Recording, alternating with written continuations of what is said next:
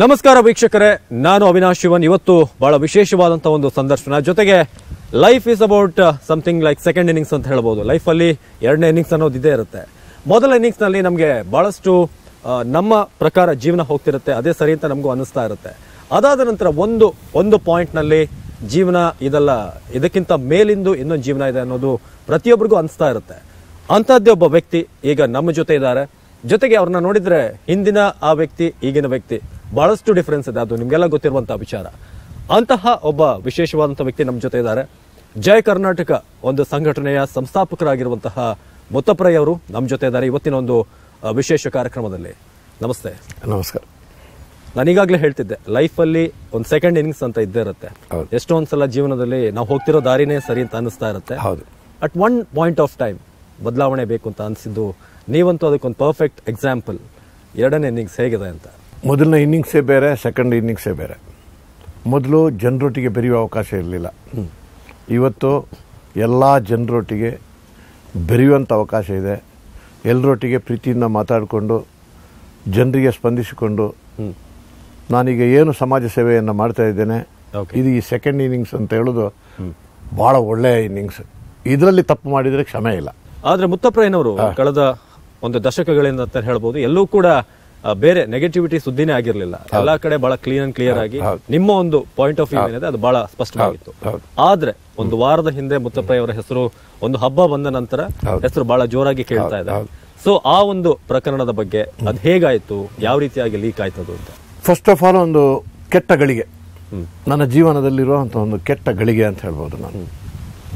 ನನಗೆ ಡೆಲ್ಲಿಗೆ ಬರೋಕೆ ಹೇಳಿದರು ಆಲ್ ಇಂಡಿಯಾ ಸ್ಪೋರ್ಟ್ಸು ಮೀಟಿಂಗಿಗೆ ಓಕೆ ನನಗೆ ಫ್ಲೈಟ್ ಟಿಕೆಟ್ ಬುಕ್ ಆಗಿತ್ತು ರೂಮ್ ಬುಕ್ ಆಗಿತ್ತು ಎಲ್ಲ ಆಗಿತ್ತು. ನಾನು ಸ್ಪೋರ್ಟ್ಸ್ ಬಗ್ಗೆ ಕಂಪ್ಲೀಟ್ ತಿಳುವಳಿಕೆ ಪಡ್ಕೊಂಡೇ ಹೋಗುವ ಅಂತ ಹೇಳ್ಕೊಂಡು ನಾನು ಅದನ್ನು ಕ್ಯಾನ್ಸಲ್ ಮಾಡಿ ಓಕೆ. ನನ್ನ ಬೇರೆ ಪ್ರೋಗ್ರಾಮನ್ನು ಇಟ್ಟಿದ್ದೆ. ಇನ್ನೇನು ಆಯುಧ ಪೂಜೆ ಬೆಳಿಗ್ಗೆ.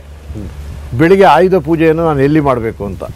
ಕೆಲವು ಸಮಯದಲ್ಲಿ ಬಿಡದಿಯಲ್ಲಿ ಮಾಡ್ತೇನೆ ಕೆಲವು ಸಲ ತೋಟದಲ್ಲಿದ್ದರೆ ತೋಟದಲ್ಲಿ ಮಾಡ್ತೇನೆ. ಎಲ್ಲಿ ನಾನು ಇರ್ತೇನೆ ಅಲ್ಲಿ ಆಯುಧ ಪೂಜೆ ಮಾಡುವಂತ ಕ್ರಮ. ಅಲ್ಲ ನಾವು ನೀವೇನು ಮೊನ್ನೆ ಫಸ್ಟ್ ಟೈಮ್ ಏನು ಆಯುಧ ಪೂಜೆ ಮಾಡಿದ್ದಲ್ಲ? ಪ್ರತಿ ವರ್ಷನೂ ವರ್ಷ ಆಯುಧ ಪೂಜೆಯನ್ನು ಮಾಡ್ತೇನೆ. ಈ ವರ್ಷನೇ ಯಾಕೆ ಸುದ್ದಿ ಆಯ್ತು ಅದು ಅಂತ? ಇವಾಗ ಅಂದ್ರೆ ಈಗದ ಟೆಕ್ನಾಲಜಿ ಏನು ಅಂದ್ರೆ ಈಗ ನಾನು ಒಂದು ಹತ್ತು ವರ್ಷದಿಂದ ಈ ಜನಸೇವೆಯಲ್ಲಿ ತೊಡಗಿಸಿಕೊಂಡ ಮೇಲೆ ಜನರ ಕೆಲಸಗಳನ್ನು ಮಾಡಿಕೊಂಡು ಜನರ ಪ್ರೀತಿಯನ್ನು ಗಳಿಸಿದ ಮೇಲೆ ಲಕ್ಷೋಪಲಕ್ಷ ಜನ ನನ್ನೊಟ್ಟಿಗೆ ನಿಂತು ಫೋಟೋ ತೆಗೆದಿದ್ದಾರೆ ಸೆಲ್ಫಿ ತೆಗೆದಿದ್ದಾರೆ ಅದನ್ನು ತೆಗೆದು ವಾಟ್ಸಪ್ಗಳಲ್ಲಿ ಹಾಕ್ಕೊಂಡಿದ್ದಾರೆ ಯೂಟ್ಯೂಬಲ್ಲೇ ಹಾಕ್ಕೊಂಡಿದ್ದಾರೆ ವಿಡಿಯೋ ಮಾಡ್ಕೊಂಡಿದ್ದಾರೆ. ಇದರಿಂದಾಗಿ ಅದು ಕಾಮನ್ ಅಂತ ಇತ್ತು ನನ್ನ ತಲೆಯಲ್ಲಿ. ನಾನು ಅದರ ಬಗ್ಗೆ ಅಷ್ಟು ತಲೆ ಕೆಡಿಸ್ಕೊಳ್ತಿರ್ಲಿಲ್ಲ. ಆ ಪೂಜೆ ಮಾಡುವ ಸಮಯದಲ್ಲಿ ನಾವು ಒಂಬತ್ತೇ ಜನ ಇದ್ದದ್ದು ಬೇರೆ ಯಾರಿಲ್ಲ. ಒಂದು ನನಗೆ ಪೂಜೆ ಮಾಡೋಕ್ಕೊಂದು ಭಟ್ರು ಬೇಕಿತ್ತು. ನಾನೊಂದು ಕಾರ್ಪೊರೇಟ್ರ್ ನನ್ನ ಫ್ರೆಂಡಿಗೆ ಫೋನ್ ಮಾಡಿದೆ ಒಂದು ಯಾರಾದರೂ ಒಂದು ಭಟ್ರನ್ನು ಕಳಿಸಿ ಅಂತ. ಸೊ ಒಂದು ಭಟ್ರು ಮತ್ತು ಅವರ ಅಸಿಸ್ಟೆಂಟ್ ಇಬ್ಬರನ್ನ ಕಳಿಸಿದ್ರು. ಓಕೆ ಕಳಿಸುವಾಗ ಪೂಜಾ ಸಾಮಗ್ರಿಗಳನ್ನು ಇಟ್ಟುಕೊಂಡೇ ಕಳಿಸಿದ್ರು. ಎಂಟು ಗಂಟೆ ಒಳಗೆ ಕಳಿಸಿ ಅಂತ ಹೇಳಿದೆ ಒಂಬತ್ತು ಗಂಟೆ ಒಳಗೆ ಕಳಿಸಿದ್ರು. ಐದು ಜನ ಸೆಕ್ಯೂರಿಟಿ ಅವರಲ್ಲಿ ಎರಡು ಪ್ಲಸ್ ನಾಲ್ಕು ಆರು ಆಯುಧಗಳಿತ್ತು. ಅಂದರೆ ಒಬ್ಬರಲ್ಲೊಂದು ಪಿಸ್ತೂಲ್ ಒಂದು ಗನ್ ಒಬ್ಬರಲ್ಲೊಂದು ಪಿಸ್ತೂಲ್ ಒಂದು ಗನ್ ಒಬ್ಬರಲ್ಲೊಂದು ಪಿಸ್ತೂಲ್ ಒಂದು ಗನ್ ಎರಡು ಜನರಲ್ಲಿ ಪಿಸ್ತೂಲ್ ಇತ್ತು. ಅದನ್ನು ತೆಗೆದು ಪೂಜೆ ಮಾಡಬೇಕಿದ್ರೆ ಅದನ್ನು ನೆಲದಲ್ಲಿ ಇಡೋಕ್ಕಾಗಲ್ಲ. ಯಾಕಂದರೆ ಆ ಆಯುಧಗಳನ್ನು ನೆಲದಲ್ಲಿಟ್ಟು ಪೂಜೆ ಮಾಡೋಕ್ಕಾಗಲ್ಲ. ಅದಕ್ಕಾಗಿ ಒಳಗಡೆಯಿಂದ ಒಂದು ಚಾಪೆ ತಗೊಂಡು ಬನ್ನಿ ಅಂತ ಹೇಳಿದ್ರು. ಒಂದು ಚಾಪೆಯನ್ನು ತಗೊಂಡು ಬಂದು ಆ ಚಾಪೆಯಲ್ಲಿ ಅದನ್ನು ಜೋಡಿಸಿ ನನ್ನ ವಾಕಿಂಗ್ ಸ್ಟಿಕ್ಕನ್ನು ಅದರಲ್ಲಿ ಇಟ್ಟು ಮನೆಯಲ್ಲಿದ್ದ ಒಂದು ಸಣ್ಣ ಕತ್ತಿ ಇತ್ತು. ಆ ಕತ್ತಿ ಸಣ್ಣ ಕತ್ತಿ. ಏನಾದರೂ ಕತ್ತಿ ಗಿತ್ತಿಗಳಿದ್ರೆ ತಗೊಂಡು ಬಾಪ ಅಂತ ಹೇಳಿದೆ. ಈರುಳ್ಳಿ ಕಟ್ ಮಾಡ್ಬೋದು ಅದಕ್ಕೆಲ್ಲ ಆ ವಾಹನಗಳೇ. ಇದು ಆಯುಧಗಳೇ. ಒಂದು ಕತ್ತಿಯನ್ನು ಒಂದು ಚಾಕುವನ್ನು ತಗೊಂಡು ಬಂದು ಭಟ್ರು ಪೂಜೆಯನ್ನು ಮಾಡಿದರು.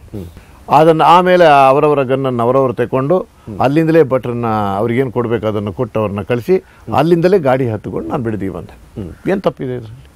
ಹಾಗಾದರೆ ಈ ಒಂದು ಇದು ಲೀಕ್ ಆಗುತ್ತೆ ಫೋಟೋ ಒಂದು ವಲಯದ ಮಾತಿದೆ ಮುತ್ತಪ್ರಯ ಅವರೇ ಬೇಕಂತಾನೆ ಲೀಕ್ ಮಾಡಿದ್ರು. ಅವರ ಒಂದು ಶಕ್ತಿ ಪ್ರದರ್ಶನಕ್ಕೆ ಯಾರಿಗೋ ಒಂದು ಮೆಸೇಜ್ ಕೊಡ್ಲಿಕ್ಕೆ ಇನ್ನೂ ಕೂಡ ನಾನು ಬಹಳ ಸ್ಟ್ರಾಂಗ್ ಆಗಿದ್ದೀನಿ. ನನ್ನ ತಂಟೆಗೆ ಬರಬೇಡಿ ಅನ್ನೋ ರೀತಿಯಾಗಿ ಅವರೇ ಲೀಕ್ ಮಾಡಿಸಿದ್ರು ಒಂದು ಮಾತಿದೆ ಏನಂತಾರೆ? ಇದು ಬಹಳ ತಪ್ಪು ಕಲ್ಪನೆ. ಯಾಕೆಂದರೆ ಕೆಲವು ದೊಡ್ಡ ದೊಡ್ಡ ಫಂಕ್ಷನ್ ಅಂತ ಸಮಯದಲ್ಲಿ ಇಪ್ಪತ್ತು ಸಾವಿರ ಹತ್ತು ಸಾವಿರ ಮೂವತ್ತು ಸಾವಿರ ಜನ ಸೇರುವಂಥ ಜಾಗಗಳಲ್ಲಿ ಅದು ಸಿಟಿಯ ಮಧ್ಯದಲ್ಲಿ ಅಂತಹ ಪರಿಸ್ಥಿತಿ ಇರುವಾಗ ಇಪ್ಪತ್ತು ಸೆಕ್ಯೂರಿಟಿಗಳನ್ನು ಇಟ್ಟುಕೊಂಡು ಹೋದದ್ದು ಇದೆ ನಾನು. ನನ್ನ ಪರ್ಸನಲ್ ಸೆಕ್ಯೂರಿಟಿಗಳಲ್ಲದೆ ಸೆಕ್ಯೂರಿಟಿ ಕಂಪನಿಗೆ ಹೇಳಿ ಅವರಿಂದ ಸೆಕ್ಯೂರಿಟಿಯನ್ನು ಸೇರಿಸ್ಕೊಂಡು ಹೋದದ್ದು ಇದೆ. ಓಕೆ ಯಾವುದೂ ಕಾನೂನಿಗೆ ವಿರುದ್ಧವಾದಂಥ ಯಾವುದೇ ಇದು ಆಯುಧಗಳು ಅದರಲ್ಲಿ ಇರೋದಿಲ್ಲ ಇಂಥದ್ರಲ್ಲಿ ಈ ವಾ- ಈ ಆಯುಧಗಳು ನನ್ನ ಸೆಕ್ಯೂರಿಟಿಯವರ ಆಯುಧಗಳನ್ನು ಅದೇ ಈ ಅದೇ ಮುಖ ಅದೇ ಗನ್ನು ಸುಮಾರು ಹತ್ತು ವರ್ಷದಿಂದಿದೆ. ಆ ಹತ್ತು ವರ್ಷದಿಂದ ಗನ್ನನ್ನು ಹೆಗಲ ಮೇಲೆ ಇಟ್ಟುಕೊಂಡು ಸೆಕ್ಯೂರಿಟಿ ಮಾಡ್ತಾ ಇದ್ದದ್ದು. ಅದೇ ಅದನ್ನು ನೆಲದಲ್ಲಿಟ್ಟು ಪೂಜೆ ಮಾಡಿದ್ರಲ್ಲಿ ಏನು ಭಯಾನಕ ಸೃಷ್ಟಿ ಅಂತ ನನಗೆ ಅರ್ಥ ಹಾಗಾದ್ರೆ ಏಳು ಗಂಟೆ ಯಾಕೆ ವಿಚಾರಣೆ ಆಯಿತು ಮುತ್ತಪ್ಪ ಅವರು? ಏಳು ಗಂಟೆವರೆಗೆ ವಿಚಾರಣೆ ಆಗಿಲ್ಲ. ನನಗೆ ಒಂದು ನೋಟಿಸ್ ಬಂತು. ಹಾಜರಾಗಬೇಕು ಅಂತೇಳಿ ಅವತ್ತು ಸ್ಯಾಟರ್ಡೆ ಮತ್ತು ಸಂಡೇ ಅವತ್ತು ದಸರಾ ಹಾಲಿಡೇಗಳು ನಾನು ಹೋಗುವಾಗ ನನಗೆ ಸರಿಯಾದ ಡಾಕ್ಯುಮೆಂಟ್ಗಳು ಸಿಕ್ಕಿಗೆ ಸ್ವಲ್ಪ ಲೇಟ್ ಆಯಿತು. ಯಾಕಂದರೆ ಆಫೀಸ್ ಬಂದಿತ್ತು. ನಾನು ನನಗೆ ಯಾರು ಸೆಕ್ಯೂರಿಟಿಯನ್ನು ಕೊಟ್ಟಿದ್ದೀರಾ ಆ ಬ್ಲ್ಯಾಕ್ ಸೆಕ್ಯೂರಿಟಿ ಅವರಿಗೆ ನಾನು ಫೋನ್ ಮಾಡಿದ್ದೆ. ಅವ್ರು ಹೇಳಿದರು ಎಲ್ಲ ರಜದಲ್ಲಿದ್ದಾರೆ ಸರ್ ಒಬ್ಬರು ವಸಂತ ಪೊನ್ನಪ್ಪ ಅಂತ ಟ್ರೈನರ್ ಒಬ್ಬರು ಇದ್ದಾರೆ ಅಂತ ಹೇಳಿದ್ರು. ಸರಿ ಅವರನ್ನು ಮತ್ತು ಅವರಲ್ಲಿ ನಿಮ್ಮಲ್ಲಿ ಏನು ಡಾಕ್ಯುಮೆಂಟ್ ಇದೆ ಅದನ್ನು ತೆಗೆದುಕೊಂಡು ಕಳಿಸಿ. ನಾನು ಇನ್ನೊಬ್ಬ ಸೆಕ್ಯೂರಿಟಿ ಅವನು ನನ್ನನ್ನು ಇಲ್ಲಿ ಬಿಟ್ಟಾದ್ಮೇಲೆ ಒಂದು ಐದು ದಿವಸ ರಜಾ ಕೇಳಿದ್ದ. ಆಯ್ತು ಹೋಗು ಅಂತ ಹೇಳಿದ್ದೆ. ಅವನಿಗೂ ಫೋನ್ ಮಾಡಿ ಅವನನ್ನು ಕರೆಸ್ಕೊಂಡು ಇದ್ದ ಅಲ್ಲಿ ಏನು ವಸ್ತು ಇದು ಏನು ಆಯುಧಗಳಿದೆ ಅದನ್ನೆಲ್ಲ ತಗೊಂಡು ನಾನು ಸಿ ಸಿ ಬಿ ಆಫೀಸಿಗೆ ಹೋದೆ. ಸಿ ಸಿ ಪಿ ಆಫೀಸಿಗೆ ಮೂರು ಗಂಟೆಗೆ ಹೋದಾಗ ಎ ಸಿ ಪಿ ಅವರಿದ್ದರು ಇನ್ಸ್ಪೆಕ್ಟರ್ ಇದ್ದರು ಡಿ ಸಿ ಪಿ ಅವರು ಇರಲಿಲ್ಲ. ಅದರಿಂದ ಒಂದು ಅರ್ಧ ಗಂಟೆ ಲೇಟ್ ಆಯಿತು. ಆಮೇಲೆ ಡಿ ಸಿ ಪಿ ಅವರು ಬಂದರು. ಡಿ ಸಿ ಪಿ ಅವರು ಬಂದು ಕೂತ್ಕೊಂಡ್ರು. ಆಮೇಲೆ ಅವರು ಆ ಗನ್ಗಳನ್ನೆಲ್ಲ ಅದೇ ಥರದಲ್ಲಿ ಡಿಸ್ಪ್ಲೇ ಮಾಡಿ, ಆ ಫೋಟೋವನ್ನು ಇಟ್ಕೊಂಡು ಅದನ್ನು ನೋಡಿದರು. ಅದನ್ನೆಲ್ಲ ಪರಿಶೀಲಿಸಿದರು. ಅದರ ಲೈಸೆನ್ಸು ಎಲ್ಲವನ್ನು ಪರಿಶೀಲಿಸಿದರು. ಏನೇನು ಲೈಸೆನ್ಸ್ ವೆಪನ್ಗಳಿದೆ ಅದೇ ವೆಪನ್ಗಳು ಅಲ್ಲಿತ್ತು ಮತ್ತು ಸೆಕ್ಯೂರಿಟಿ ಅವರಲ್ಲೂ ಅವರವರ ಗನ್ನಿನ ಬಗ್ಗೆ, ಅವರವರ ಲೈಸೆನ್ಸ್ ಬಗ್ಗೆ, ಅವರಿಗೆ ಗನ್ ಟ್ರೈನಿಂಗ್ ಇದೆಯಾ ಅದನ್ನು ಹೇಗೆ ಹಿಡಿಬೋದು ಗೊತ್ತಾ? ನಿಮಗೆ ಯಾರು ಮುತ್ತಪ್ಪರೆಯವರಿಗೆ ಎನಿಮೀಸ್ ನಿಮಗೇನಾದರೂ ಗೊತ್ತಾ ಅಂತೇಳಿ ಆ ಥರ ವಿಚಾರಣೆ ಮಾಡ್ತಾಯಿದ್ರು ನನ್ನನ್ನು ಒಬ್ಬರನ್ನ ಐದಾರು ಗಂಟೆ ವಿಚಾರಣೆ ಮಾಡಿಲ್ಲ. ಒಬ್ಬರ ವಿಚಾರಣೆ ಅಲ್ಲ ಇಲ್ಲ ಇಲ್ಲ. ನನ್ನನ್ನು ವಿಚಾರಣೆ ಮುತ್ತಪ್ರಯವರಿಗೆ ಅಲ್ಲಿದ್ದಂತ ಅಷ್ಟು ಆಯುಧಗಳು ಕೂಡ ಕೇವಲ ನಿಮ್ಮ ಭದ್ರತೆಗಾಗಿ ಇದ್ದಂತವ ಅಥವಾ ಜಸ್ಟ್ ಇದ್ದಿದ್ದವ ಎಲ್ಲ ಭದ್ರತೆಗಾಗಿದ್ದು ಡ್ರ್ಯಾಗರ್ನ ಅವಶ್ಯಕತೆ ಯಾಕಿದೆ ಮುತ್ತಪ್ಪ ಅವರಿಗೆ ಅಂತ? ನಿಮ್ಮ ಭಾಷೆಯಲ್ಲಿ ಅದು ಡ್ರ್ಯಾಗರ್ ನಮ್ಮ ಭಾಷೆಯಲ್ಲಿ ಅದೊಂದು ಸಣ್ಣ ಚೂರಿ. ಅದೇ ಅದರ ಅವಶ್ಯಕತೆ ಈ ಲೆವೆಲ್ನಲ್ಲಿ ಇದೆಯಾ ಓಕೆ ಅಲ್ಲಲ್ಲ ಚೂರಿ ಅಂತ ಹೇಳೋದು ಕೂಡ ಒಂದು ಅಪಾಯದ ಅಪಾಯದ ಸಂಕೇತ ಅದು. ಒಂದು ಚೂರಿಯಲ್ಲಿ ಯಾರಿಗಾದ್ರೂ ಚುಚ್ಚಿದ್ರೆ ಸಾಯ್ಬೋದು. ಅದಕ್ಕೋಸ್ಕರ ಆ ಚೂರಿಯನ್ನು ಅದರಲ್ಲಿ ಇಟ್ಟುಬಿಟ್ಟು ಒಂದು ಪೂಜೆಯನ್ನು ಮಾಡಿ ನಿಮ್ಮ ಭದ್ರತೆಗೆ ಚೂರಿ ನಮ್ಮ ಭದ್ರತೆಗೂ ಆ ಚೂರಿಗೆ ಏನು ಸಂಬಂಧ ಇಲ್ಲ. ಅದು ನೀವೇ ಹೇಳಿದ್ರಿ ಈಗ ಭದ್ರತೆಗೆ ಬೇಕಾದಂತ ಆಯುಧಗಳು ಅದರಲ್ಲಿ ಹೌದು ಭದ್ರತೆಗೆ ಬೇಕಾದ ಆಯುಧಗಳು ಒಟ್ಟಿಗೆ ಅದು ನನ್ನ ಮನೆ. ನನ್ನ ಮನೆಯಲ್ಲಿರುವ ಚೂರಿಯನ್ನು ತಗೊಂಡು ಬಂದು ಇಟ್ಟರಷ್ಟೇ ಆ ಚೂರಿಯನ್ನು ಇಟ್ಕೊಂಡು ನಾನು ಎಲ್ಲಿಯೂ ಟ್ರಾವೆಲ್ ಮಾಡಿದವನಲ್ಲ. ಆ ಚೂರಿ ನನಗೆ ಯಾವ ಸಾಮಾನ್ಯವಾದಂತ ಚೂರಿನೂ ಅಲ್ಲ ಅದು. ಯಾಕಂದ್ರೆ ಬಹಳ ಜನ ಫೋಟೋನೇ ನೋಡಿದ್ದಾರೆ ಇಲ್ಲ ಇಲ್ಲ ಇಲ್ಲ ಇಲ್ಲ. ಬಹಳ ಎಕ್ಸ್ಪರ್ಟ್ಗಳು ಯೂಸ್ ಮಾಡುವಂತ ಇಲ್ಲ ಇಲ್ಲ ಇಲ್ಲ ಇಲ್ಲ ಇಲ್ಲ ಇಲ್ಲ ಇಲ್ಲ ಇಲ್ಲ ಇಲ್ಲ ಇಲ್ಲ. ಸಿಸಿಬಿ ಅವರು ಇತ್ತೀಚಿನ ದಿನಗಳಲ್ಲಿ ಬಹಳಷ್ಟು ರೌಡಿ ಶೀಟರ್ಗಳಿರ್ಬೋದು ಬೇರೆ ಬೇರೆ ವಿಭಾಗದವರು ಕ್ರೈಮ್ ಒಂದು ಸಂಬಂಧಪಟ್ಟದವ್ರನ್ನ ಕರೆದು ಮಾತಾಡ್ತಿದ್ದಾರೆ. ಹೌದು. ಸೊ ಮುತ್ತಪ್ರೈ ಅವ್ರನ್ನ ಕರಿಬೇಕಾದ್ರೆ ಒಂದು ಕಾರಣ ಬೇಕಿತ್ತ ಸಿಸಿಬಿಗೆ? ಅದಕ್ಕೋಸ್ಕರ ಇದೇ ಒಂದು ಆಪರ್ಚುನಿಟಿ ಅಂತ ಕರೆಸಿದ್ರೆ? ಅಲ್ಲಲ್ಲ ಇದು ಸಿ ಸಿ ಬಿ ಅವರು ಅವರು ಮಾಡ್ತಾ ಇರೋ ಕೆಲಸ ಅವರು ಕಾನೂನಿಗೆ ವಿರುದ್ಧವಾಗಿ ಯಾರೆಲ್ಲ ಇದ್ದಾರೆ ಯಾರೆಲ್ಲ ಕಾನೂನು ಬಾಹಿರವಾಗಿ ಕೆಲಸವನ್ನು ಮಾಡ್ತಿದ್ದಾರೆ ಅವರನ್ನ ಕರೆಯುವುದು ಅದು ಮೊದಲಿಂದ ಇತ್ತು ಈಗಲೂ ಇತ್ತು. ಈಗ ಈ- ನಿಮ್ಮನ್ನ ಕರೆಯೋ ಈ ಸಲ ಇನ್ನೂ ತೀವ್ರತೆ. ನನ್ನನ್ನು ಕರೆಯುವಂತ ಯಾವ ಉದ್ದೇಶನೂ ಅವರಲ್ಲಿ ಇರಲಿಲ್ಲ ಇದು ಒಂದು ಎರಡು ಮಾಧ್ಯಮದವರು ಇದನ್ನ ಇದಕ್ಕೊಂದು ಸ್ಟೋರಿ ಮಾಡಿ ಅಲ್ಲಿ ಮಿಷಿನ್ ಗನ್ ಇದೆ. ಅಲ್ಲಿ ಸ್ಟೆನ್ ಗನ್ ಇದೆ ಎ ಕೆ ಫಾರ್ಟಿ ಸೆವೆನ್ ಇದೆ ಅಂತ ಹೇಳಿಕೊಂಡು ಅಲೋಕ್ ಕುಮಾರ್ ಸಾಹೇಬ್ರೆ ಇಲ್ಲಿ ಮಿಷಿನ್ ಗನ್ ಇದೆ ಇದಕ್ಕೆ ಎಲ್ಲಿದೆ ಲೈಸೆನ್ಸ್? ಇಲ್ಲಿ ಸ್ಟೆನ್ ಗನ್ ಇದೆ ಎಸ್ ಎಲ್ ಆರ್ ಗನ್ ಇದೆ. ಆ ಸುದ್ದಿ ನೋಡಿದ ಕೂಡಲೇ ಮುತ್ತಪ್ರೈ ಅವರು ಒಂದು ಕ್ಷಣ ನಡಗಿದ್ರೆ? ಇಲ್ಲ ನಾನು ನಾನು ಅದನ್ನು ಟಿವಿಯಲ್ಲಿ ನೋಡಿರಲಿಲ್ಲ. ನಾನು ಟಿವಿ ನೋಡಿ ಸುದ್ದಿ ಗೊತ್ತಾದಾಗ? ಇಲ್ಲ ಇಲ್ಲ ನಾನು ಅದ್ರ ಕೊಂಚ ಭಯ ಆಯ್ತು ಅವರಿಗೆ. ಇಲ್ಲ ಇಲ್ಲ ನನಗೇನು ಭಯ ಆಗಿಲ್ಲ. ಯಾಕಂದ್ರೆ ಅವರಲ್ಲಿ ಕೇಳಿದ್ರೆ ಅವ್ರು ನನ್ನ ಕರೆಸ್ತಾರೆ. ಕರೆಸಿದ್ರೆ ನನ್ನಲ್ಲಿ ದಾಖಲೆ ಇದೆ. ಆಮೇಲೆ ಅವರೇ ನಗ್ತಾರೆ. ಆಮೇಲೆ ಕಡೆಗೆ ಯಾರಿಗೆ ನಾಚಿಕೆ ಆಗಬೇಕು? ಟಿ ವಿ ಅವರಿಗೆ ನಾಚಿಕೆ ಆಗಬೇಕು? ಈಗ ಅವ್ರು ಏನೇನು ಇದೆ ಅಂತ ಹೇಳಿದ್ರ ಅದು ಇಲ್ಲ ಅಂತ ಹೇಳುವಾಗ ಯಾರಿಗೆ ಮುಜುಗರ ಆಗುತ್ತೆ ಯಾರು ವರದಿಗಾರರಿದ್ದಾರೆ? ಯಾವುದು ಮಾಧ್ಯಮ ಇದೆ? ಅವರಿಗೆ ಮುಜುಗರ ಆಗುತ್ತೆ ಅಲ್ಲದೆ ಇಮೇಜನ್ನು ಬದಲಿಸೋಣ ಪ್ರಯತ್ನ ಪಟ್ಟಿರ್ಬೋದು ಇಲ್ಲದಿದ್ರೆ ಈ ಥರ ಆಗೋಕೆ ಸಾಧ್ಯನೇ ಇಲ್ಲ. ಯಾಕಂದರೆ ಇಂಥ ಒಂದು ವಿಷಯವನ್ನು ಕೆಲವು ಮಾಧ್ಯಮದವರು ನನಗೆ ಫೋನ್ ಮಾಡಿ ತಿಳ್ಕೊಂಡ್ರು. ಏನಿದು ಅಂತ? ನಾನು ಹೇಳಿದೆ ಎಲ್ಲ ಲೀಗಲ್ ಇದೆ ಅಂತ. ಅವರು ಅದನ್ನು ಹಾಕಲಿಲ್ಲ ಇವರು ನನ್ನಲ್ಲಿ ತಿಳ್ಕೊಳ್ಳುವಂಥ ಒಂದು ಸಾಹಸಕ್ಕೂ ಕೈ ಹಾಕದೆ ಇವರಾಗಿ ಅದಕ್ಕೆ ಒಂದು ಕತೆ ಕಟ್ಟಿ ಅದಕ್ಕೆ ಒಂದು ಬಣ್ಣ ಹಾಕಿ ಅದನ್ನೊಂದು ವಿಶೇಷತೆಯಾಗಿ ಮಾಡಿ ಎಲ್ಲ ಜನರು ಹುಬ್ಬೇರಿಸುವ ಹಾಗೆ ಮಾಡಿದರು. ಆದರೆ ಸತ್ಯ ಒಂದು ದಿವಸ ಗೊತ್ತಾಗಲೇಬೇಕು. ಆ್ಯಕ್ಚುಲಿ ಅದೊಂದು ವಿಷಗಳಿಗೆ ನನಗೆ ಅಂತ ತಿಳ್ಕೊಳ್ತೇನೆ. ಮುತ್ತಪ್ರಯವರ ಹೆಸರಲ್ಲಿ ಎಷ್ಟು ಆಯುಧಗಳಿದಾವೆ? ನಿಮ್ಮ ಹೆಸರಲ್ಲಿ ಎಷ್ಟು ಆಯುಧಗಳಿದಾವೆ ಅಂತ ಎಷ್ಟು ವೆಪನ್ಸ್ ಇದೆ? ನನ್ನ ಹೆಸರಲ್ಲಿ ಒಂದು ಆಯುಧಗಳು ಇಲ್ಲ. ವಕೀಲರ ಒಂದು ಅಸೋಸಿಯೇಷನ್ ಇಂದ ನಿಮ್ಮ ಮೇಲೆ ಒಂದು ಕಂಪ್ಲೇಂಟ್ ಇದೆ. ಎಫ್ ಐ ಆರ್ನಲ್ಲಿ ನಲ್ಲಿ ಎಲ್ಲಾ ಏಳು ಜನರ ಹೆಸರಿದೆ. ಯಾರ ಸೆಕ್ಯೂರಿಟಿ ಸಂಬಂಧಪಟ್ಟಂಥವ್ರು ಆದ್ರೆ ಮುತ್ತಪ್ರೈ ಅವರ ಹೆಸರಿಲ್ಲ. ಅದಕ್ಕೆ ಒಂದಷ್ಟು ಪ್ರೆಷರ್ ಹಾಕ್ಸಿದ್ದಾರೆ ಅನ್ನೋ ರೀತಿಯಾಗಿ. ಹಾಕ್ಸಿರ್ಬೋದು. ಸೊ ಏನಂತೀರಿ ಇದಕ್ಕೆ? ಫಸ್ಟ್ ಆಫ್ ಆಲ್ ಆ ವಕೀಲರು ಯಾರು ಹತ್ರ ನಮ್ಗೆ ಗೊತ್ತಿಲ್ಲ. ಮೋಸ್ಟ್ಲಿ ಅಂಥ ಒಂದು ದೊಡ್ಡ ಕಾನೂನು ಗೊತ್ತಿದ್ರೆ ಅವ್ರು ಖಂಡಿತ ಹಾಕ್ತಿರ್ಲಿಲ್ಲ. ಯಾಕಂದರೆ ವಿಷಯ ತಿಳ್ಕೊಳ್ಬೇಕು. ಖಾಲಿ ಪೇಪರ್ನಲ್ಲಿರೋ ನ್ಯೂಸ್ ಅಥವಾ ನಿಮ್ಮ ಮಾಧ್ಯಮದ ಮೇಲಿನ ನ್ಯೂಸನ್ನು ನೋಡ್ಕೊಂಡು ಹಾಕಿದ್ದಾರೆ ಅವರು. ಅದರಿಂದ ಅಟ್ಲೀಸ್ಟ್ ಪೊಲೀಸ್ ಡಿಪಾರ್ಟ್ಮೆಂಟಲ್ಲಿ ಹೋಗಿ ಏನು ನಡೆಯಿತು ಅಲ್ಲಿ ನಿಜವಾಗಿ ಸ್ಟೆನ್ ಗನ್ ಇತ್ತ ಮಿಷಿನ್ ಗನ್ ಇತ್ತ ಕಾನೂನು ಬಾಹಿರವಾದಂಥ ಯಾವುದೇ ಆಯುಧಗಳಿತ್ತ ತಿಳ್ಕೊಂಡು ಅವ್ರು ಹಾಕಬೇಕಿತ್ತು. ಈಗ ನಾಳೆ ಗೊತ್ತಾಗುತ್ತೆ ಅವರಿಗೆ. ಆತುರವಾಗಿ ಹಾಕಿದ್ದಾರೆ. ಅದರ ಬಗ್ಗೆ ನಾನು ತಲೆ ಕೆಡಿಸ್ಕೊಂಡಿಲ್ಲ. ಈಗ ಒಂದು ವಿಚಾರ ನಿಮಗೆ ಆ ಫೋಟೋ ಲೀಕ್ ಆಗಿದ್ದು ಗೊತ್ತಾಗುತ್ತೆ ನಿಮ್ಮ ಮೊಬೈಲ್ ಮೊಬೈಲ್ಗೆ ಬಂದಿರುತ್ತೆ. ಕ್ಷಣ ಆ ಕ್ಷಣ ನೋಡಿದಾಗ ಏನು ಅನ್ನಿಸ್ತದೆ ನಿಮ್ಗೆ? ಈ ರೀತಿಯಾಗಿ ನಮ್ಮ ಫೋಟೋ ಲೀಕ್ ಆಗಿಲ್ಲ ಇದು ಒಂದು ಎರಡು ಮೂರು ಗಂಟೆಗೆ ನನ್ನ ಮನೆಗೆ ನನ್ನ ಮಿಸಸ್ಸಿಗೆ ಒಂದು ವಾಟ್ಸಪ್ ಬಂತು. ಫೋಟೋ ಬರುತ್ತೆ. ಬಂತು. ಅವಳು ವಾಟ್ಸಪ್ ತೆಗೆದು ನೋಡಿದ್ಲು ಏನು ಅಂತ ನೋಡಿದರೆ ಈ ಫೋಟೋ ಈ ಫೋಟೋ ನೋಡಿದ ಕೂಡಲೇ ನನಗೆ ಶಾಕ್ ಆಗೋಯ್ತು. ಅಯ್ಯೋ. ತೊಂದರೆ ಮಾಡಿಬಿಟ್ರು ನನಗೆ ಅಂತ ಹೇಳಿದೆ ನಾನು. ಯಾವ ಯಾವ ರೀತಿ ತೊಂದರೆ? ಏನು ತೊಂದರೆ ಆಗುತ್ತೆ ಇದು ಎಲ್ಲ ಕೂಡ ಲೀಗಲ್ ಆಗಿದ್ರೆ ಅಲ್ಲ ಲೀಗಲ್ ಆಗಿದ್ರು ಇದು ಇಡೀ ವೈರಸ್ ಆಗಿ ಇಡೀ ಹೋದಾಗ ಜನ ಏನು ತಿಳ್ಕೊಳ್ತಾರೆ? ಜನ ತಪ್ಪು ತಿಳ್ಕೊಳ್ಬಹುದು ಮೀಡಿಯಾದವರು ಇದನ್ನು ಏನು ಯಾವ ಥರ ತಗೊಳ್ಬಹುದು ಅಂತ ಹೇಳುವಂಥ ಒಂದು ನೋವಾಯ್ತು ನನಗೆ. ಆತುರ ಆಯ್ತು ಕಾತುರ ಆಯ್ತು. ಆಮೇಲೆ ನೋಡಿದ್ರೆ ಹೇಳಿದ್ರು ಟಿ ವಿಯಲ್ಲೆಲ್ಲ ಬರ್ತಾ ಇದೆ ಅಂತ. ಇನ್ನೊಂದು ಪ್ರಮುಖವಾದ ವಿಚಾರ ಮೈಸೂರಿನಲ್ಲಿ ಆಗಿರೋದು ಇದು. ಫೋಟೋ ತೆಗೆದಿರೋದು ಮೈಸೂರಿನಲ್ಲಿ. ಸಿ ಸಿ ಬಿ ಅಲ್ಲಿ ಯಾಕೆ ವಿಚಾರಣೆ ಆಗುತ್ತೆ ನಿಮ್ದು? ನೋಡಿ ಮೈಸೂರಲ್ಲಿ ಆದರೂ ಎಲ್ಲ ನ್ಯೂಸ್ಗಳು ಬರ್ತಾ ಇರೋದು ಬೆಂಗಳೂರಲ್ಲಿ. ಅವ್ರು ಕರೆದ್ರಲ್ಲಿ ಏನು ತಪ್ಪಿಲ್ಲ. ನಾನು ಅದರ ಬಗ್ಗೆ ಅವ್ರು ಕರ್ ಮೈಸೂರಲ್ಲಿ ಕರೆದ್ರೆ ನನಗೆ ದೂರ ಆಗ್ತಿತ್ತು. ಅವ್ರು ಇಲ್ಲಿ ಕರೆದ್ರೆ ನನಗೆ ಒಳ್ಳೇದಾಯಿತು. ಜಯ ಕರ್ ಕರ್ನಾಟಕದ ಕಾರ್ಯಕರ್ತರು? ಜಯ ಕರ್ನಾಟಕದವ್ರದ್ದೇ ನನಗೆ ಜಾಸ್ತಿ ಪ್ರಾಬ್ಲಮ್ ಆಗೋಯಿತು. ಸುಮಾರು ನಾನು ಐವತ್ತು ಜನರೊಟ್ಟಿಗೆ ನಾನು ಸಿ ಸಿ ಬಿ ಆಫೀಸಿಗೆ ಹೋದರೆ ಹನ್ನೊಂದು ಗಂಟೆ ಆಗುವಾಗ ಸಾವಿರ ಜನ ಸೇರಿದ್ರು. ನಾನು ಯಾರೂ ಬರಬಾರ್ದು ಅಂತ ಹೇಳಿದ್ದೆ. ದಯವಿಟ್ಟು ಯಾರು ಬರಬಾರ್ದು. ಮುತ್ತಪ್ರಯ್ಯ ಅವರೇ ಕರೆದಿದ್ರ ಶಕ್ತಿ ಪ್ರದರ್ಶನಕ್ಕೆ? ನಾನು ಹೇಳಿದ್ದೆ ನಾನು ಶಕ್ತಿ ಪ್ರದರ್ಶನ ಮಾಡಬೇಕಿದ್ರೆ ಐವತ್ತು ಸಾವಿರ ಜನ ಇರ್ತಿದ್ರು. ನಾನು ಇವತ್ತು ಮನಸ್ಸು ಮಾಡಿದ್ರೆ ಅಲ್ಲ ಸಾಮಾನ್ಯವಾಗಿ ನೀವು ಮನಸ್ಸು ಮಾಡಿದ್ರೆ ನಾನು ಹತ್ತು. ದಿವಸದಲ್ಲಿ ಒಂದು ಲಕ್ಷ ಜನ ಸೇರಿಸುವಂತ ಶಕ್ತಿ ಇವತ್ತಿದೆ. ನನ್ನ ಸಂಘಟನೆ ಅಷ್ಟು ಸ್ಟ್ರಾಂಗ್ ಇದೆ. ಅಷ್ಟು ಒಳ್ಳೊಳ್ಳೆಯ ನಾಯಕರುಗಳಿದ್ದಾರೆ. ಇಂಥ ಕೆಲಸ ಮಾಡಿ ಈ ನೋಡಿ ಇವತ್ತು ಕೂಡ ಎಲ್ಲೋ ಕಡೆಯಲ್ಲಿ ಫಂಕ್ಷನ್ಗಳು ನಡೀತಲೇ ಇದೆ. ಚಾಮರಾಜನಗರದಲ್ಲಿ ನಡೀತಿದೆ. ಈ ಈ ಘಟನೆಗೆ ಏನು ಯಾರು ಸತ್ಯ ಗೊತ್ತಿದೆ ಯಾರೂ ಇದು ಮಾಡಲಿಲ್ಲ. ಯಾವುದೇ ಗಲಾಟೆ ಆಗಬಾರದು. ಎಲ್ಲಾದರೂ ಈ ಪೊಲೀಸರನ್ನು ನಮ್ಮನ್ನು ತಂದಿಕ್ಕುವಂಥ ಕೆಲಸವನ್ನು ಈ ಮಾಧ್ಯಮದವರು ಮಾಡಬಾರ್ದು. ಯಾಕಂದರೆ ಈ ಥರ ತುಂಬ ತುಂಬಾ ಇದರಲ್ಲಿ ನಿಮ್ಮ ಸೋಷಿಯಲ್ ಮೀಡಿಯಾದಲ್ಲಿ ಓಕೆ. ಕಮೆಂಟ್ಸ್ಗಳನ್ನು ಕಮೆಂಟ್ಸ್ ಗಳನ್ನ ಕೊಟ್ಟಿದ್ದಾರೆ ಮುತ್ತಪ್ಪರೈ ಆ ಒಂದು ಹೆಸರು ಕೇಳಿದಾಗ ಇವತ್ತಿಗೂ ಭಾಳಷ್ಟು ಜನ ಒಂದು ಕಿವಿ ಶಾರ್ಪ್ ಆಗುತ್ತೆ. ಒಂದು ರೀತಿಯಾದಂಥ ಹ್ಯಾಪನಿಂಗ್ ಹೆಸರು ಅದು. ಬಟ್ ನೀವು ಆ ಬ್ರ್ಯಾಂಡಿಂದ ಹೊರಬಂದಿದ್ದೀರಾ? ಈಗ ನಿಮಗೆ ಭಾಳ ಸೆಕ್ಯೂರಿಟಿ ಇದೆ. ಅದೇ ರೀತಿಯಾಗಿ ಫ್ರೀಯಾಗಿ ಎಲ್ಲೂ ಹೋಗಬೇಕಾದ್ರೆ ಹೋಗೋದು ಸಾಧ್ಯ ಇಲ್ಲ. ಏನಂತೀರಿ? ನಿಮ್ಗೆ ಈಗಲೂ ಅನ್ಸಲ್ವಾ? ನಾನೆಲ್ಲಾದ್ರೂ ಫ್ರೀಯಾಗಿ ಹೋಗಬೇಕು. ಯಾರೋ ಒಂದು ಇದಿಲ್ಲದೆ ಅಡೆತಡೆ ಇಲ್ಲದೆ ಒಂದು ಪಾನಿಪುರಿ ತಿನ್ನಬೇಕು ಅಥವಾ ಒಂದು ಚರ್ಮುರಿ ತಿನ್ನಬೇಕು ಅಂತ ಅನ್ಸುತ್ತೆ? ನನ್ನ ಜೀವನದಲ್ಲಿ ಸುಮಾರು ಮೂವತ್ತ ನಾಲ್ಕು ಮೂವತ್ತೈದು ವರ್ಷದ ನಂತರ ನನ್ನ ಜೀವನ ಇದೇ ಥರ ಆಗೋಯ್ತು. ನನಗೆ ಮೊದಲು ನಾನು ಎಲ್ಲ ಸುತ್ತಾಡ್ತಾ ಇದ್ದಂಥ ಸಮಯ. ಎಲ್ಲ ಕಡೆ ಸುತ್ತಾ ಇದ್ದೆ. ಭಾಳ ತಮಾಷೆಯನ್ನು ನಾನು ಜೋಕ್ಸ್ ಮಾಡಿಕೊಂಡು ತುಂಬ ಫ್ರೆಂಡ್ ಸರ್ಕಲನ್ನು ಗಳಿಸ್ಕೊಂಡಿದ್ದೆ. ಮೂರ್ನಾಲ್ಕು ಕಾಲೇಜಲ್ಲಿ ನಾನು ಸ್ಟಡಿ ಮಾಡಿದ್ದೇನೆ. ಹಾಗೆ ನಾನು ಅಷ್ಟು ಜಾಲಿಯಾಗಿ ಅಷ್ಟು ಗಮ್ಮತ್ತಾಗಿದ್ದಂಥ ಮನುಷ್ಯ ಎಲ್ಲೋ ಒಂದು ಕಡೆಯಲ್ಲಿ ನಾನು ಉಪಕಾರ ಮಾಡೋಕ್ಕೆ ಹೋಗಿ. ಅಂದರೆ ನನಗೆ ಸಣ್ಣದರಿಂದಲೇ ಒಂದು ಉಪಕಾರ ಮಾಡುವಂಥ ಯಾರು ಯಾರು ಕಷ್ಟದಲ್ಲಿದ್ದಾರೆ ಅವರಿಗೆ ಉಪಕಾರ ಮಾಡಬೇಕು ನಾನು. ಅಂಥ ಒಂದು ನೇಚರ್ ಇರುವಂಥ ಮನುಷ್ಯ ಕ್ಲಾಸಲ್ಲಿ ಲೀಡರ್ ಸ್ಪೋರ್ಟ್ಸಲ್ಲಿ ಲೀಡರ್ ಎಲ್ಲದರಲ್ಲೂ ಲೀಡರ್ ಆಗಿದ್ದೆ. ನನ್ನ ಹಿಂದೆ ತುಂಬ ಜನ ಹುಡುಗರು ಇರ್ತಿದ್ರು. ಯಾವಾಗಲೂ ನಾನು ಗುಂಪು ಕಟ್ಕೊಂಡೇ ಇರ್ತಿದ್ದೆ.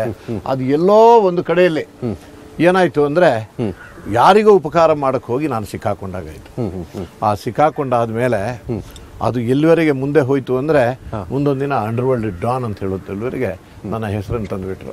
ಫಿಲ್ಮಲ್ಲಿ ಇರುವಂಥ ಡಾನ್ಗೂ ರಿಯಲ್ ಲೈಫಲ್ಲಿ ಡಾನ್ಗೂ ಸೇಮ್ ಮಾತ್ರನೇ ಇರ್ತಾರ? ಇಲ್ಲ. ಫಿಲ್ಮಲ್ಲಿರುವ ಡಾನ್ ಅದು ಒಂದು ಕ್ರಿಯೇಟಿವ್ ಡಾನ್ ಅದರಲ್ಲಿ ಏನು ನೈಜತೆಗಳಿರೋದಿಲ್ಲ. ಒಂದು ಪಿಸ್ತೂಲಲ್ಲಿ ಇಪ್ಪತ್ತು ಗುಂಡಿ ಇರುತ್ತೆ.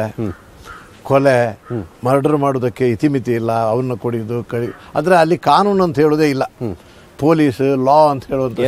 ಎಷ್ಟೇ ಮರ್ಡರ್ ಮಾಡಿದ್ರು ಯಾರು ಕೇಳೋರಿಲ್ಲ. ಅಲ್ಲ ಈಗ ನಾವು ಸಾಮಾನ್ಯವಾಗಿ ಈಗಿನ ಕ್ರೈಮ್ ಅಲ್ಲಿ ನೋಡ್ತಾ ಇರ್ತೀವಿ. ಗಲ್ಲಿಗೊಬ್ಬ ರೌಡಿ ಒಬ್ಬ ಹದಿನೆಂಟು ಹದಿನೆಂಟು ಹತ್ತೊಂಬತ್ತು ವರ್ಷದ ಹುಡುಗಾನು ಅವನು ಡಾನ್. ನಿಮ್ಗೆ ಅದನ್ನ ನೋಡಿದಾಗ ಎಲ್ಲ ನಗು ಅನ್ಸಲ್ವ? ನಗು ಬರಲ್ವಾ ಅಂತ? ಇಲ್ಲ ಡಾನ್ ಅಂತ ಹೇಳಿದ್ರೆ ಡಾನ್ ಎಲ್ಲರೂ ಡಾನ್ ಆಗೋಕ್ಕಾಗೋದಿಲ್ಲ. ಡಾನ್ ಬೇರೆ ರೌಡಿಗಳು ಬೇರೆ. ಅದೆಲ್ಲ ಗಲ್ಲಿ ಗಲ್ಲಿಯಲ್ಲಿರೋರು ಡಾನ್ಗಳಲ್ಲ ರೌಡಿಗಳು. ಅಂದ್ರೆ ರೌಡಿತನ ಮಾಡುವವರು. ಆ ವಯಸ್ಸು ನನ್ನದು ಆವಾಗ ಸಣ್ಣ ವಯಸ್ಸೇ ಇತ್ತು. ಆ ಸಣ್ಣ ವಯಸ್ಸಲ್ಲೇ ನಾನಂತೂ ನನ್ನ ಜೀವನದಲ್ಲಿ ಆ ಡಾನ್ ಗಿರಿಯಲ್ಲಿ ಒಬ್ಬನಲ್ಲಿ ಒಂದು ರೂಪಾಯಿ ಎಕ್ಸ್ಟ್ರಾಕ್ಷನ್ ಮಾಡಿದವನಲ್ಲ. ಆ ಥರದ ಡಾನ್ಗಳು ಯಾರೂ ಇಲ್ಲ. ನಾವು ಜನರಿಗೋಸ್ಕರ ರಾಬಿನ್ವುಡ್ ತರ. ಜನರಿಗೆ ಏನ್ ತೊಂದರೆ ಆಗುತ್ತೆ? ಅವರಿಗೋಸ್ಕರ ನಾವು ಮಾಡೋದು. ನಾನು ದುಬೈಲಿ ಇರುವಾಗಲೂ ಒಂದು ಇಮೇಲ್ ಮಾಡಿದ್ದೆ. ನಿಮಗಾಗಿ at hot mail dot com ಅಂತ. ನಿಮಗೆ ಏನಾದ್ರೂ ಯಾರಿಗಾದ್ರೂ ತೊಂದರೆ ಆದ್ರೆ ನನಗೆ ಫೋನ್ ಮಾಡಿ ಅಂತ. ಇನ್ನು ರೈ ಅವ್ರ ಬಗ್ಗೆ ಸಿನಿಮಾ ಕೂಡ ಬರುತ್ತೆ ಅಂತ ಒಂದಷ್ಟು ಮಾತಿತ್ತು. ವಿವೇಕ್ ವಿವೇಕ್ ಒಬ್ರಾಯ್ ಅವ್ರು ಮಾಡ್ತಾರೆ ಅಂತ. ಸೊ ಆ ಒಂದು ಇದು ಹೋಲ್ಡ್ ಆಗುತ್ತೆ. ಏನಾದ್ರೂ ಕಾನೂನೇನು ತೊಡಕಿದ್ಯಾ ಅದಕ್ಕೆ ಅಥವಾ ಇಲ್ಲ ಕಾನೂನಿನ ತೊಡಕಲ್ಲ? ನಾನು ಏನಾಯ್ತು ಅಂದ್ರೆ ಪಿಕ್ಚರ್ ತೆಗಿಬೇಕು ಅಂತೇಳಿ ತುಂಬಾ ಡೈರೆಕ್ಟರ್ಗಳು ಬಂದ್ರು. ತುಂಬಾ ಜನ ನನ್ನನ್ನು ಪಿಕ್ಚರ್ ತೆಗಿತೇನೆ ಅಂತ ಬಂದು ಸ್ಟೋರಿ ಹೇಳಿದರು. ಆಮೇಲೆ ರಾಮ್ ಗೋಪಾಲ್ ವರ್ಮ ಅವರು ಬಂದ್ರು. ಆದಿತ್ಯ ಅಂತ ನಮ್ಮ ಕನ್ನಡ ಆಕ್ಟರ್ ಅವರ ಜೊತೆಯಲ್ಲಿ ಯಾವುದೋ ವೀರಪ್ಪನ ಕೇಸಿಗೆ ಅಂತ ಹೇಳ್ಕೊಂಡು ಅವ್ರು ಬಂದ್ರು. ಶೂಟಿಂಗ್ ಮಾಡ್ತಾ ಇರೋ ಸಮಯದಲ್ಲಿ ಬಂದ್ರು. ರಾಮ್ ಗೋಪಾಲ್ ವರ್ಮ ಅಂದರೆ ಗೊತ್ತಿಲ್ಲದವ್ರು ಯಾರಿಲ್ಲ. ಅವ್ರ ಪಿಕ್ಚರ್ ತೆಗಿತಾರ ಅಂದ್ರೆ ನನಗೇನೋ ಒಂದು ಆಸೆ ಆಯ್ತು. ಆಯಿತು ನೀವು ತೆಗೆದಿದ್ರೆ ತೆಗೀರಿ. ಬಟ್ ಯಾವ ತರ ತೆಗಿತೀರಾ ಹೇಳಿದ್ರೆ ನಿಮ್ಗೆ ಇವತ್ತೊಂದು ಲಕ್ಷ ಜನ ಅಭಿಮಾನಿ ಇದ್ರೆ ಈ ಪಿಕ್ಚರ್ ನೋಡಿದ ಮೇಲೆ ಎರಡು ಲಕ್ಷ ಜನ ಅಭಿಮಾನಿ ಜಾಸ್ತಿ ಆಗುತ್ತೆ. ಆ ಥರದಲ್ಲಿ ನಾನು ತೆಗಿತೇನೆ ಪಿಕ್ಚರನ್ನು ಅಂತ ಹೇಳಿದ್ರು. ಬಂದರು ವಿವೇಕ್ ಒಬ್ರಾಯ್ ಅವ್ರನ್ನ ಕರ್ಕೊಂಡು ಬಂದ್ರು ಅವ್ರನ್ನ ಹೀರೋ ಮಾಡೋದು ಅಂತಾಯ್ತು ವಿವೇಕ್ ಒಬ್ರಾಯ್ ಅವರು ನಮಗೆ ಕ್ಲೋಸ್ ಫ್ರೆಂಡ್ ಜೀವರಾಜ್ ಆಳು ಅವ್ರ ದಳಿಯ ಆಮೇಲೆ ಬಂದು ಎಲ್ಲ ಆದಮೇಲೆ ಲಾಸ್ಟ್ ಲಾಸ್ಟಿಗೆ ಸ್ಟೋರಿ ಕೇಳಿದ ಮೇಲೆ ನಾನು ಹೋಗ್ತೇನೆ ಅಂತ ಹೇಳಿದೆ. ಸ್ಟೋರಿಗಳಲ್ಲೆಲ್ಲ ಏನು ಅಂದರೆ ಅದು ಖಾಲಿ ಸಿನಿಮಾಟಿಕ್ ಪಿಕ್ಚರ್ ಅಂತ ಹೇಳುವಂಥದ್ದು ಒಂದು ಅರ್ಥ ಆಯಿತು.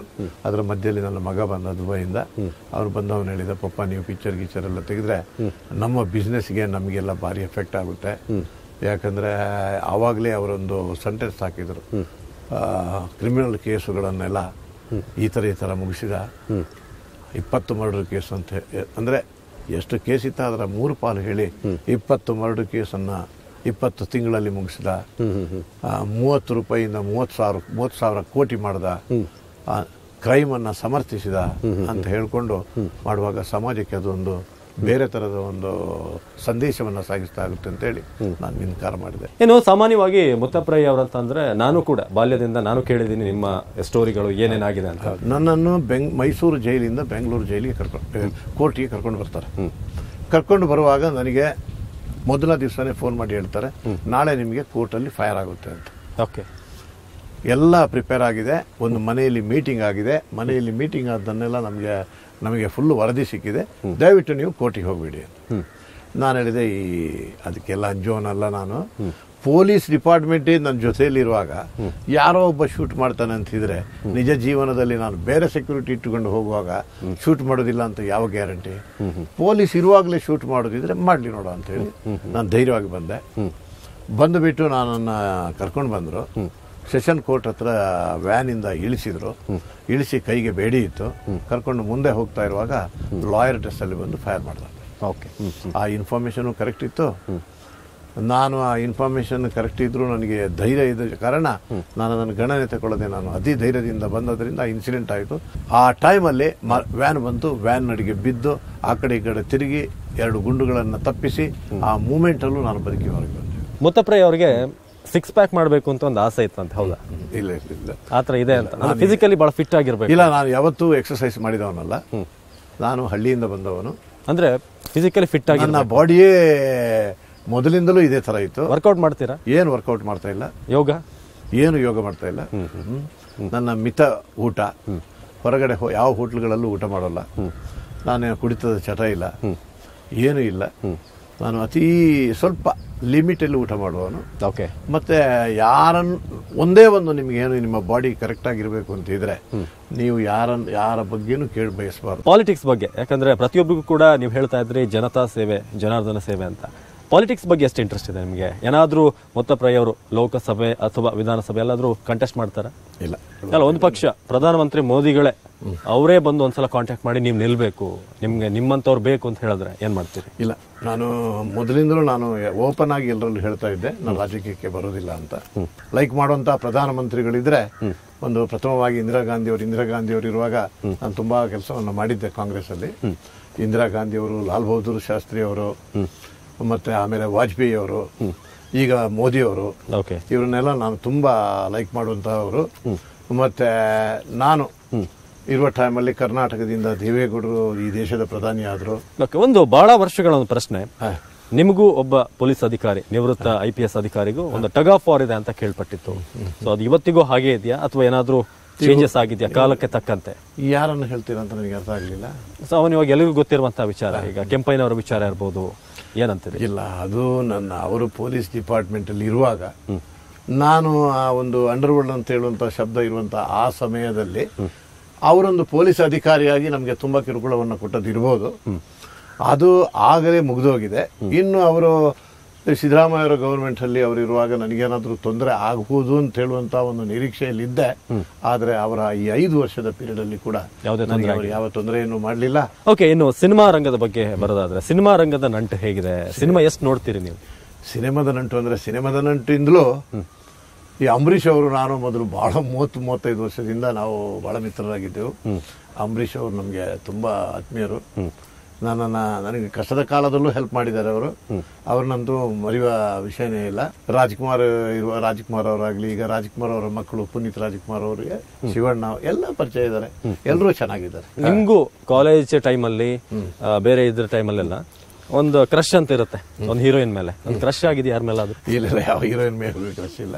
ಅಥವಾ ಏನಾದ್ರೂ ಮನೇಲಿ ನೋಡ್ತಾರೆ ಅಂತ ಸುಳ್ಳು ಹೇಳ್ತೀವಿ ಇಲ್ಲ ಇಲ್ಲ ಇಲ್ಲ ಮನೆಯಲ್ಲಿ ನೋಡೋದಿಲ್ಲ ಇಲ್ಲ. ಯಾಕಂದ್ರೆ ಬಹಳಷ್ಟು ಡಾನ್ಗಳಿಗೆ ಯಾರಿಗೂ ಹೆದರಲ್ಲ ಅವರು. ಮನೇಲಿ ಮಾತ್ರ ಹೆದರ್ತಾರೆ ಅಂತ ಒಂದು ಮಾತಿದೆ. ಆತರ ಮುತ್ತಪ್ಪ ಅವರು ಇಲ್ಲ ಇಲ್ಲ ಮನೇಲೂ ಡಾನ್ ಏನ? ಇಲ್ಲ ಇಲ್ಲ ಇನ್ನು ಈಗ ಈಗಿನ ಒಂದು ಟ್ರೆಂಡಿಂಗ್ ಮೀಟು ಅಂತ ಒಂದು ಟ್ರೆಂಡಿಂಗ್ ಆಗ್ತಿದೆ. ಯಾಕಂದ್ರೆ ಯಾರಿಗಾದ್ರೂ ಒಂದು ಶೋಷಣೆ ಆದ್ರೆ ಹೆಣ್ಮಕ್ಳು ಅದನ್ನ ಬಂದು ಹೊರಗಡೆ ಹೇಳ್ಕೊಳ್ಳೋದು. ಸೊ ಮೀಟು ಬಗ್ಗೆ ಮುತ್ತಪ್ಪ ಅವರಿಗೆ ಎಷ್ಟು ಒಂದು ಇನ್ಫಾರ್ಮೇಶನ್ ಇದೆ? ಒಳ್ಳೇದಾ? ಹೆಣ್ಮಕ್ಳ ಹತ್ರ ಬಂದು ಹೇಳೋದು? ಏನಾಗ ಏನಂತೀರಿ? ಇಲ್ಲ ಇದ್ರ ಬಗ್ಗೆ ಅಷ್ಟು ನಾಲೆಜ್ ಇಲ್ಲ ನನಗೆ. ಎಸ್ ಒಂದಷ್ಟು ರ್ಯಾಪಿಡ್ ಫೈರ್ ಕ್ವಶನ್ ಅನ್ನ ಕೇಳೋಣ. ಸಾಮಾನ್ಯವಾಗಿ ಸೆಲೆಬ್ರಿಟಿಗಳು ಸಿನಿಮಾ ಹೀರೋಯಿನ್ಗಳು ಅವರಿಗೆಲ್ಲ ಕೇಳ್ತಾ ಇರ್ತಾರೆ. ಸೊ ಮುತ್ತಪ್ರೈ ಅವರು ಯಾವ ರೀತಿಯಾಗಿ ಉತ್ತರ ಕೊಡ್ತಾರೆ ಅಂತ? ಮುತ್ತಪ್ರೈ ಅವರು ಒಂದು ದೇಶದ ಪ್ರಧಾನಿಯಾಗಿ ಒಂದು ದಿನದ ಅವಕಾಶ ಸಿಗುತ್ತೆ ನಿಮಗೆ. ದೇವರು ಪ್ರತ್ಯಕ್ಷ ಆಗ್ತಾರೆ. ಒಂದು ಬದಲಾವಣೆ ಏನು ಮಾಡ್ತೀರಿ? ದೇವರು ಪ್ರತ್ಯಕ್ಷ ಕೊಟ್ಟರೆ ಬಸ್ಟ್ ನಮ್ಮ ದೇಶ. ನಮ್ಮ ದೇಶವನ್ನು ರಕ್ಷಣೆ ಮಾಡಬೇಕಿದ್ರೆ ರಕ್ಷಣವನ್ನು ಸ್ಟ್ರಾಂಗ್ ಮಾಡ್ತೀವಿ. ಒಂದು ಬೆಸ್ಟ್ ಡಾನ್ ಕ್ಯಾರೆಕ್ಟರ್ ನೀವು ನೋಡಿದ್ದು ಸಿನಿಮಾ ಟಿವಿಲಿ. ಯಾರು ಮಾಡಿದ್ದಾರೆ ನಟರು? ಬೆಸ್ಟ್ ಅನ್ಸಿದ್ ನಿಮಗೆ. ಡಾನ್ ಕ್ಯಾರೆಕ್ಟರ್ಗೆ ಆ ಒಂದು ಪರ್ಸನಾಲಿಟಿ ಆ ಒಂದು voice Amitabh Bachchan. Yes favourite ಒಂದು ಟೂರಿಸ್ಟ್ ಸ್ಪಾಟ್ ಏನೂ ಟೆನ್ಷನ್ ಬೇಡಪ್ಪ. ಈ ಜಗತ್ತಿನ ಎಲ್ಲವನ್ನು ಮರೆತು ಒಂದ್ ಕಡೆ ಹೋಗಿ ಸೈಲೆಂಟ್ ಆಗಿ ಕೂತ್ಕೋಬೇಕು. ಯಾವ ಊರಿಗೆ ಹೋಗ್ತೀರಿ? ಫಾರಿನ್ ಅಲ್ಲಿ. ಫಾರಿನಲ್ಲಿ ಫಾರಿನ್ ಅಲ್ಲಿ. ಸೈಪ್ರಸ್ ನೀವೊಬ್ಬ ಸಿನಿಮಾ ಸ್ಟಾರ್ ಆದ್ರೆ ಹೀರೋಯಿನ್ ಜೊತೆ ನಟಿಸಬೇಕು ಅಂತ ಇದ್ರೆ ಬಹಳ ರೊಮ್ಯಾಂಟಿಕ್ ಸೀನು ಯಾವ ಹೀರೋಯಿನ್ ಕಲ್ಪನೆ ಮಾಡ್ಕೊಳ್ತೀರಿ? ಯಾರು ಬೇಕು? ಮಾಧುರಿ ದೀಕ್ಷಿತ್ ಅವ್ರ ಶ್ರೀದೇವಿ ಅತಿ ನಂಬಿಕೆ ವ್ಯಕ್ತಿ. ನನ್ನ ಎರಡು ಡೋಬರ್ ಮ್ಯಾನ್ ನಾಯಿಗಳು. ಯಾಕೆ? ಯಾರನ್ನಾದ್ರೂ ಮಿಸ್ ಮಾಡ್ಕೊಳ್ತಾ ಇದ್ದೀರಾ ಲೈಫಲ್ಲಿ? ನನ್ನ ಸತ್ತ ನನ್ನ ವೈಫನ್ನು ಮಿಸ್ ಮಾಡ್ಕೊಳ್ತೀನಿ. ನನ್ನ ಒಟ್ಟಿಗೆ ಮೂವತ್ತು ಮೂವತ್ತೈದು ವರ್ಷ ಮೂವತ್ತು ವರ್ಷ ಮೂವತ್ತೈದು ವರ್ಷ ಜೀವನ ಮಾಡಿದಂಥ ಭಾಳ ಪ್ರೀತಿಸಿ ಮದುವೆ ಮದುವೆ ಆದಂಥ ನನ್ನ ವೈಫನ್ನು ಮಿಸ್ ಮಾಡ್ಕೊಳ್ತಾ ಇದ್ದೇನೆ. ಇದುವರೆಗೆ ನಿಮ್ಮ ಅಮೂಲ್ಯವಾದಂಥ ಸಮಯವನ್ನ ನಮಗೆ ಇದು ಮಾಡಿದ್ರಿ. ಬಹಳಷ್ಟು ಮುಕ್ತವಾಗಿ ಮಾತಾಡಿದ್ರು ಕೂಡ. ಎಸ್ ಇದು ಮುತ್ತಪ್ರೈ ಅವರು ಮಾತನಾಡಿದ್ರು ಇದುವರೆಗೆ ಭಾಳ ಮುಕ್ತವಾಗಿ. ಪ್ರಥಮವಾಗಿ ಮೊನ್ನೆ ಆದಂಥ ಕೇಸ್ಗಳ ವಿಚಾರ ಇರ್ಬೋದು ಅವ್ರ ವೈಯಕ್ತಿಕ ವಿಚಾರ ಭಾಳಷ್ಟು ಅವರ ಫೇವ್ರೇಟ್ ಏನೇನಿದೆ ಎಲ್ಲವನ್ನ ಕೂಡ ಎಲ್ಲವನ್ನು ಕೂಡ ನಿಮ್ಮ ಮುಂದೆ ರಿವೀಲ್ ಮಾಡಿದ್ದೀವಿ. ಸೊ ಇದಾಗಿತ್ತು ಈ ಹೊತ್ತಿನ ವಿಶೇಷ. ಮತ್ತೆ ಭಾಳಷ್ಟು ವಿಶೇಷವಾದಂಥ ಕಾರ್ಯಕ್ರಮಗಳ ಜೊತೆ ನಿಮ್ಮ ಮುಂದೆ ಬರ್ತೀವಿ. ನೋಡ್ತಾ ಇರಿ ನ್ಯೂಸ್ ಏಯ್ಟೀನ್ ಕನ್ನಡ. ಜಾಲ ನಮ್ಮದು, ಬಲ ನಿಮ್ಮದು.